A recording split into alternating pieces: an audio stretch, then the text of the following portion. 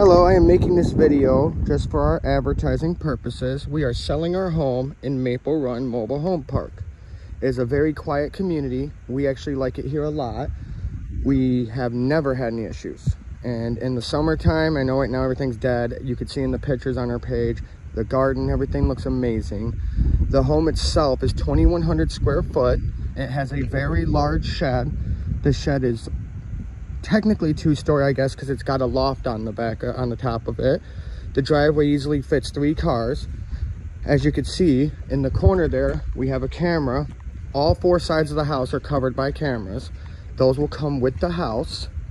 And one reason why I love this lot and I wanted to showcase and come back here is this location here. Only this street has access like this behind them.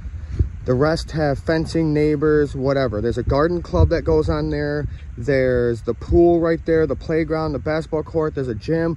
We ride our mini bike back there to that dirt road and just go up and down and have a blast. You're not responsible for mowing that field or anything. You just get access to it. You can also have fires here. You can even chip golf balls as long as you know you're careful because there's not much traffic. And just all around, I think it's one of the better locations. Also, I'd like to note, you see it's got that brick skirting. Most of the houses here have that. I don't think I've seen one with regular trailer skirting. If they don't have that, they have actual siding going down. You don't normally see that in a lot of these mobile home parks. And that's one of the reasons I like it here. It's one of only two nice parks in Clio. The other one's a 55 and up one. All right, so inside, there's the camera system that I just pointed out outside that will come with the home. It's got the DVR and everything. You can format it, replace it. Those cameras are pretty much universal. This is our living room. It's got a very, I like the paint job, unique look to it. It's a very large space.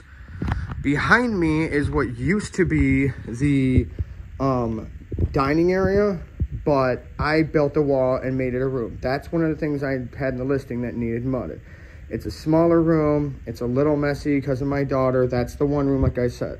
The goal was when you walk through here, you come into my daughter's room, which is probably messy, I'm not gonna lie, but is a very large room.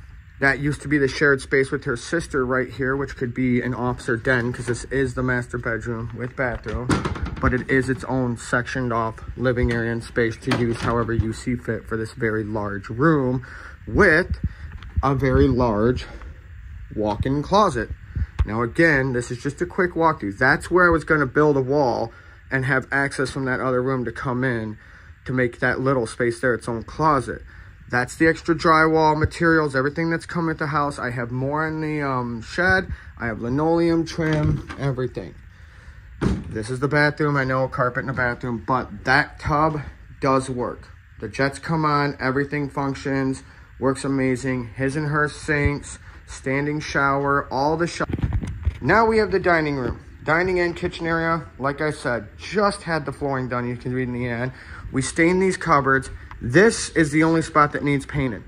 You need to paint, we were gonna paint it a dark gray with a light gray splash to max the paneling on the accent wall that we had done. And then that would have been it in here. The paneling in the dining room area and the barn door, all new, all recently done. Behind the barn door is another room. This used to be a wide open space in the living room. We've been using it as a bedroom. You can do the same. You can put it a den, a gym, however you would like. Which brings us to the hallway that I built. One of the last spots that needs, you know, for this wall I built, once again, sanded, but I painted. All new linoleum. Then we have this area here. There's the bathroom. It's a bathroom like any other. Here's my daughter's room. Another room that was original to the house is a closet. And then there's my uh, son's room. If you'll notice some of the doors, they look like they're like peeling, if you would. Um, it's because they put that stupid paper on there. All of the doors had it originally, and we've just been slowly pulling it off. It just pulls right off, and then you paint the door like a normal freaking person. And perfect example would be this door. It looks the same way, and then we peeled it off and painted it. That's why in the ad it says the home just needs paint, mud, sanding. And if you come through here, that's the laundry room. It's just the utility area. There's a washer and dryer. They were both bought last year. All right, so there's the house. You know, there's no major flaws, there's no major issues. I do HVAC for a living. I've kept up on the furnace, the AC. The water heater was just replaced in February. The washer and dryer, like I said, are less than a year old. They're gonna come with the house. The extra fridge back there, because we have so many kids. If you want, it can come with the house. The fridge, the stove, the dishwasher, they come with the house. The security cameras, the snow blower, the snow shovel, all come with the house. Heck, I've got a carpet shampooer from when I was gonna try and save the carpet in the hallway instead of just replacing it. It's barely been used. That comes with the house. We just wanna get to a warmer climate, hopefully. So, you know, if you're interested, like I said, jump on their website. Their cheapest one they got is a $45,000 single wide.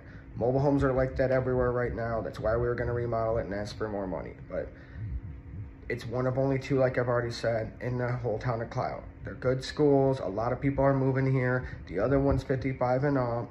So this is a great opportunity for someone to buy a house and not spend over a $1,000 a month living it, especially if you have a lot of kids. There's a lot of room and space. Or if you work from home, there's room for an office, a gym, whatever your deal is. If you want to pull it out and put it on land, that was our original plan because if you look it up, there's a lot of mobile homes that once they got on land somehow became worth $230,000 or some crap, which is insane to me, but it is an option. We have the paperwork to show it can be pulled out. Anything at all, just reach out and ask. Thank you for your time.